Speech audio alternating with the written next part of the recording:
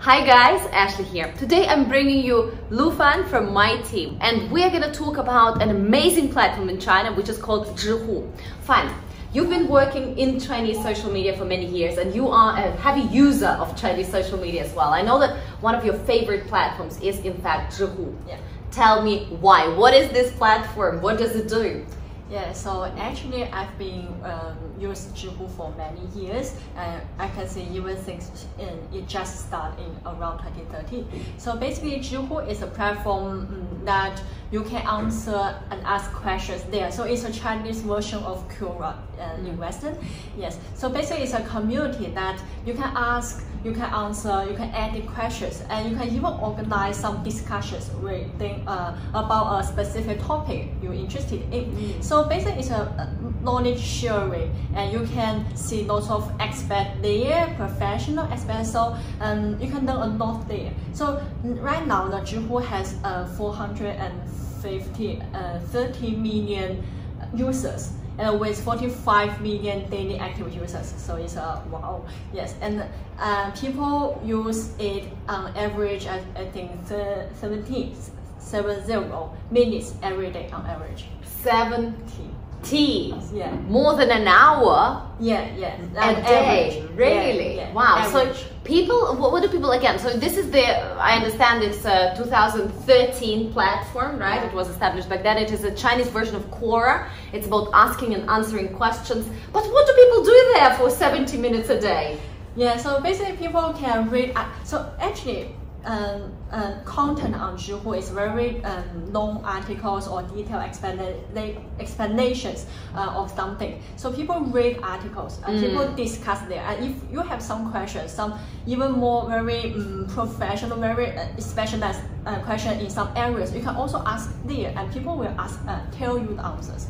Yes, and uh, in addition to uh, questions uh, regarding some hot topics uh, in the society or some um, theories, etc., etc., you can also discuss there, and mm. and and people would like to discuss with you. Mm.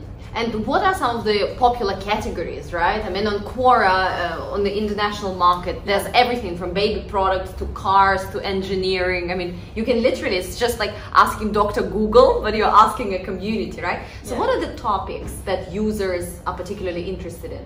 Yeah, uh, I say various, but maybe uh, the lifestyle, the technology, the cost. Yeah, you can, uh, you know, Zhihu just launched a new um, new function that you can even try uh, um, book to try the car there. So it's a kind of a services. The cars and the uh, 3C, the literature, and also the mom and baby because Zhihu mm. just also launched a channel that you can uh, uh, specifically for mom and baby. Mm. Yeah, and also books, etc., etc. So it's various um, topics, and you can ask everything you're interested in there.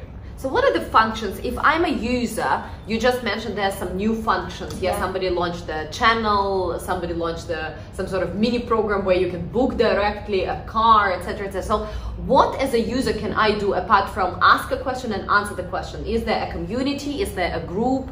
Uh, what is there?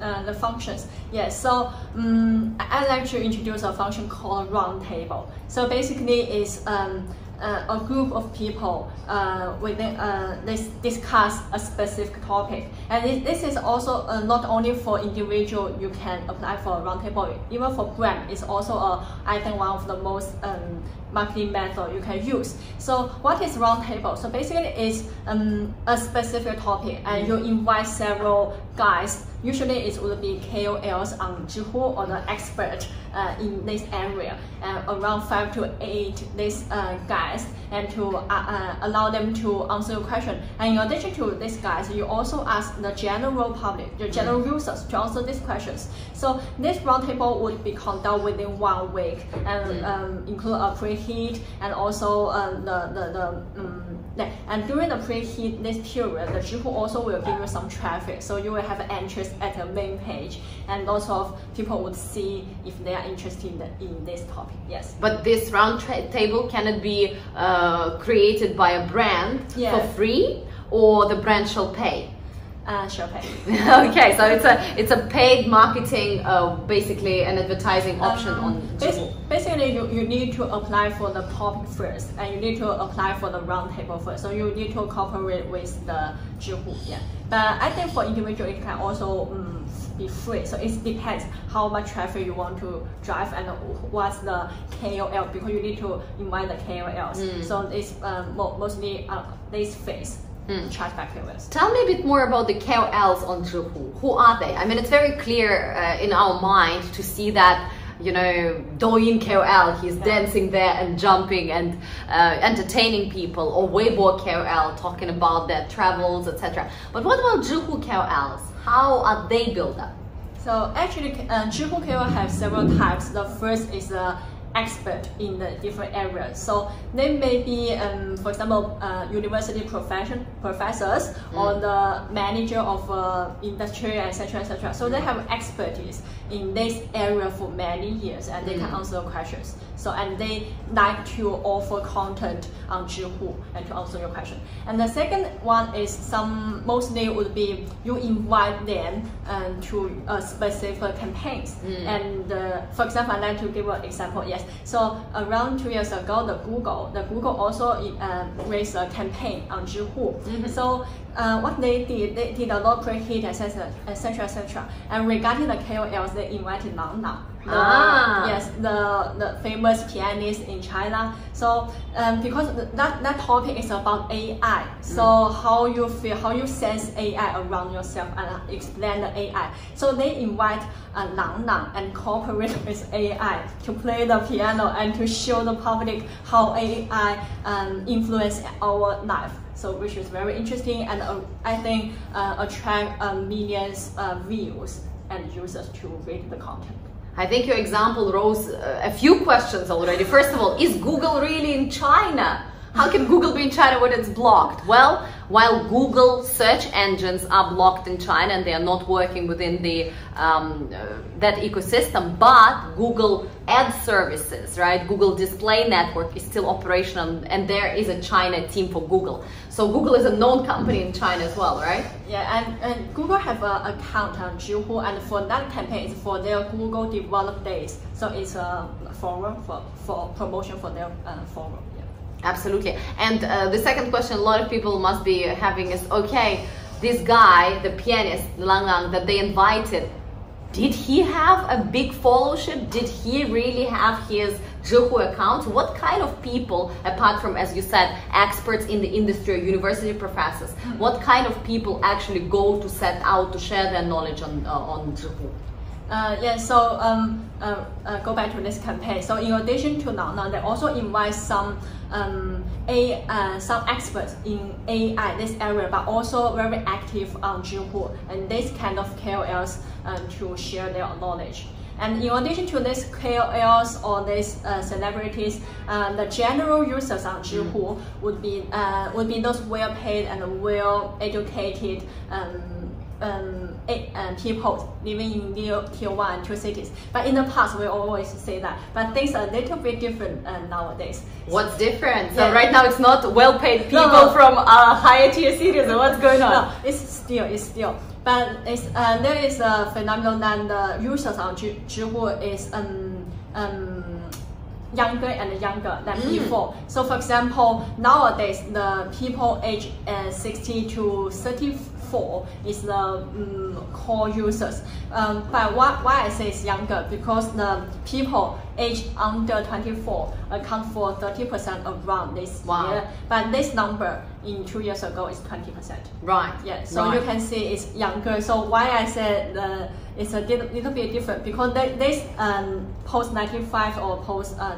zero zeros, they don't have pay right now, but they are, they are still uh, well educated. Yeah. So they're well educated. They might not yet have a job, but they are basically the future power of China, Yeah, right? yeah. And right now, post COVID 19, I also believe this is a very big trend. Everybody is going into education.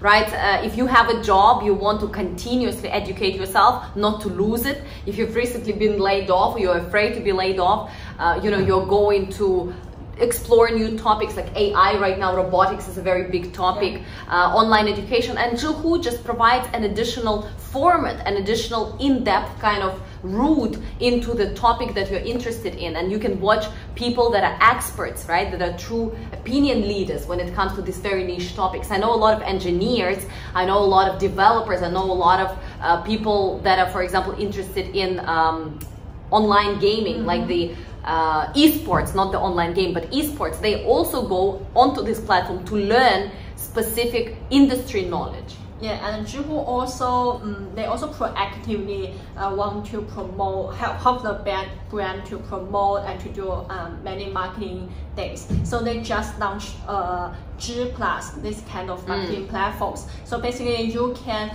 um, pro promote your brand and you can initiate your advertising campaign uh, on these platforms. And what's more, um, within these platforms, you can even lead your traffic to media programs, to Tmall's, and to WeChat. Though it's not very well developed yet, but it's uh, still trying to um, do this. And so Zhihu from a community, right, where yeah. they were pretty much uh, an expert community, a discussion forum, right, a very yeah. sophisticated one. They are turning into a tool for marketers and brands. Yeah. Before we talk about how can brands utilize this platform in 2020 to the best possible way, um, is there a sales function? Can we sell something directly on Zhihu? Because I know a lot of people are wondering. Yeah, actually, um, they can you can sell books and magnets.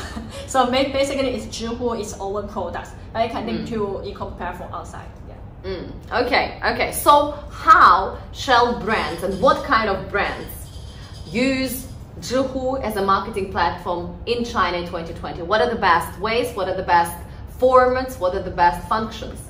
Actually, I see content marketing is the key on Zhihu. No matter you are doing advertising, uh, short-term advertising, or you are doing roundtable, I mentioned before, or you invite KOLs, but they all of these are go back to content. Mm. So actually, um, for brand, if you want, if you are a, a, a brand that hard to known by the customers or you if you want to educate the customers on your brand. So if you want to develop your brand image your concept etc etc i think Zhihu is a good platform to be there. And um, short term you can do some advertising or career promotion or you can do a round table. So within a one week you want to teach everything every aspect of your brand there. You can do that. But long term you can do a continuously um, content marketing yes. thought leadership, right? Yeah. And very often it's not just about the brand. What I've seen a lot of companies do is they go to educate their industry, yeah, right? Yeah. They go to talk about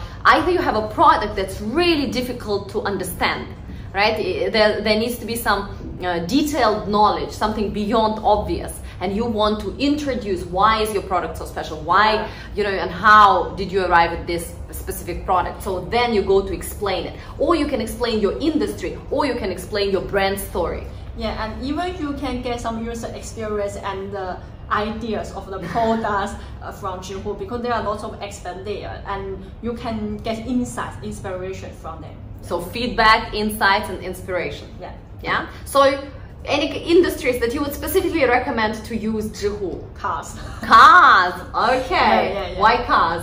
So uh, actually, I, I said no. Um, I think most um, famous car has their already digital process on Zhihu, and there are lots of car experts and users interested in this area there. So, for example, lots of car uh, car brands will release their new product on Zhihu. Mm. And there is also Zhihu, as I said before, also would like to help this brand. So for mm. example, they launched the book um, book, book the, the, the book services you can book to try the car etc mm, so book yeah. trial services yeah. for the cars apart from uh, apart from uh, cars anybody else uh, and uh, anything related to technology so um, b2b business so maybe it's a little bit hard to be understand in in, in short posts.